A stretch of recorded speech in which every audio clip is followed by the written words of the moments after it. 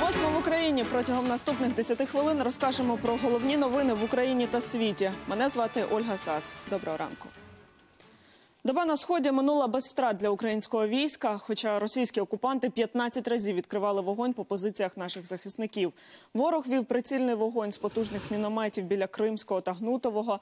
А з БМП противник цілив в районі Лебединського.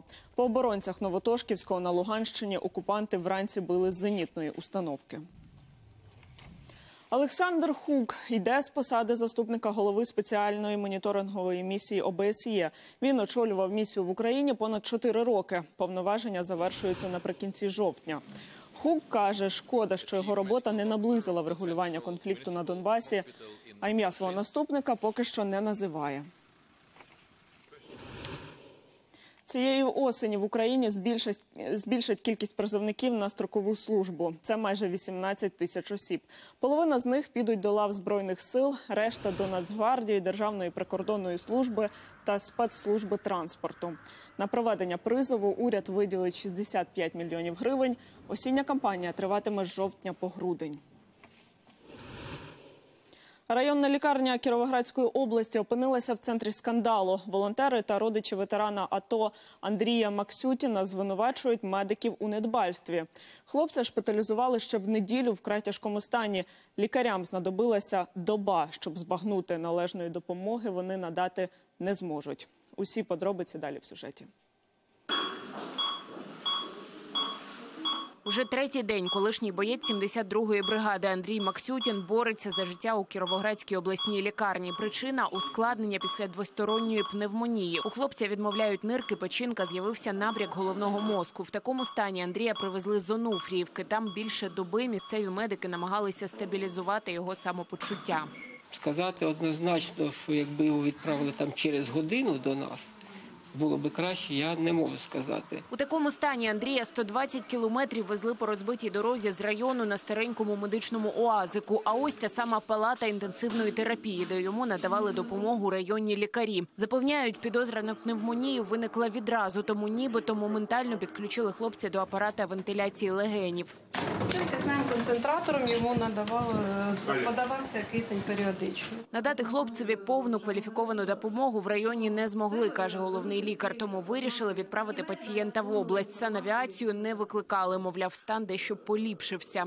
На больові відчуття е, він, е, пацієнт починає реагувати. Ну і, звичайно, пацієнт почав ковтати. Це теж позитивний був, була, позитивна була ознака. А ось так насправді проходило лікування в районній лікарні. Ці жахливі кадри відзняла волонтер Марина Шляпіна, до якої звернулися рідні. В смысле дают периодично, если человек задыхается, почему периодично дают кислород? Он должен постоянно быть с кислородом. Це зараз прийде реаніматолог і Я видела самолично, как мама, ну, то есть я вижу, что ч- ему тяжело дышать. Я говорю, под- подключить, надо подключить кислород. Мы медсестру не нашли. Мама пытается сама включить, одеть ту маску. Когда я спросила у главврача, почему э, Андрей находится не на постоянном кислородном питании, да, она мне сказала, что нет оснований постоянно давать ему кислород. Мама Андрія розповідає і досі не може зрозуміти, чому до сина так цинічно поставилися у районній лікарні. Температуру не могли мы сбить, Врачи. Он горел. Надо было кисневую маску одеть. Этого препарата не было в первый день. На второй день принесли такой аппарат, что он и отключался, и пищал. Жінка тримає в руках чеки за ліки, які купила на останні гроші. Ветерану АТО медикаменти мали надати безкоштовно, але сім'ї Андрія у районній лікарні і в цьому відмовили. Шанси на одужання хлопця зараз невеликі, кажуть медики з обласної. Він у вкрай тяжкому стані, але лікарі роблять все можливе для ветерана АТО.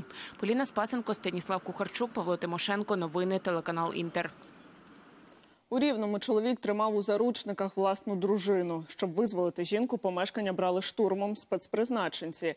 Інцидент стався напередодні у п'ятиповерхівці по вулиці Польовій. Жінка вже півроку не жила в цій квартирі. А коли прийшла по свої речі, то чоловік замкнув її у помешканні і погрожував убити. Відомо, що він учасник бойових дій в Афганістані. За скоєне може сісти в тюрму на 5 років. Жінка е, вона розповідала, що е, перед тим як їхати в квартиру забирати речі, вона позвонила дільничому. Е, Відповідно, він тримав з нею контакт і повідомив, що жінка не бере трубки. Пробували вмовити його все ж таки випустити жінку, відкрити двері. Він вкотре не захотів. Відповідно, спрацювала група і ну, проникли в квартиру до нього. Квартирі відповідно виявили під час огляду е, зброю, яка була захована, е, і в чохлі рушниця. На Івано-Франківщині поліція виявила псевдореабілітаційний центр. Там незаконно утримували 32 людини. Бранців примушували працювати, хоча мали лікувати від алкогольної і наркотичної залежності. Родичі постраждалих за псевдолікування платили від півтори до п'яти тисяч гривень на місяць. У справі затримали шість чоловіків. Це організатори і його спільників. Спільники. Усі уродженці Донецької області. Їм загрожує до 12 років позбавлення волі.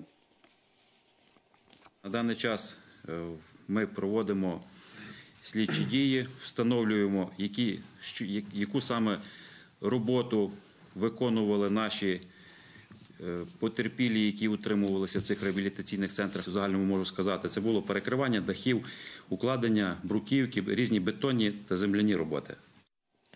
А у центрі столиці правоохоронці затримали бар банду квартирних крадіїв. Відмичками вони відчиняли двері і грабували заможні помешкання. Злодіїв затримали на гарячому, коли вони із поцупленими речами збиралися накивати п'ятами. Крадіями виявились троє іноземців. Двоє з них уже були раніше судимі. Тепер можуть знову сісти на 6 років. На Київщині правоохоронці перекрили міжрегіональний канал постачання наркотиків. Затримали чоловіка, який у трилітрових слоїках перевозив висушену подрібнену марихуану. Її оцінили у 250 тисяч гривень. Зараз затриманий у СІЗО йому світить до 8 років позбавлення волі. У Запоріжжі 28 дітей потрапили до лікарні через отруєння невідомим газом. Його бризнули з балончика в одній зі шкіл. Зараз стан усіх учнів задовільний. Їм поставили діагноз інгаляційне отруєння. Яку речовину розпилили з балончика і хто це зробив, з'ясовує слідство.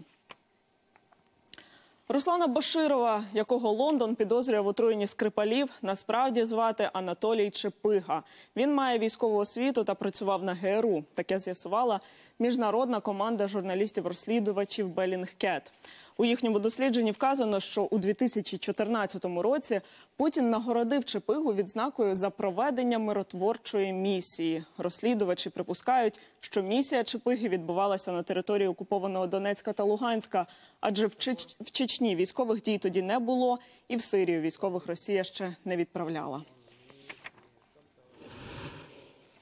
Далі новина зі Сполучених Штатів. Студентка одного із каліфорнійських університетів влаштувала оригінальну студентську вечірку. Кого запросила в гості? Дивіться самі.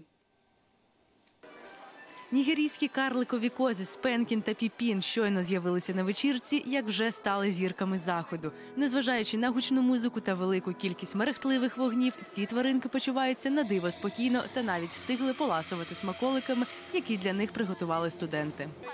Я вважаю, що кози відмінне доповнення до нашої вечірки. Вони дуже милі та гарні, і ми сюди прийшли заради них.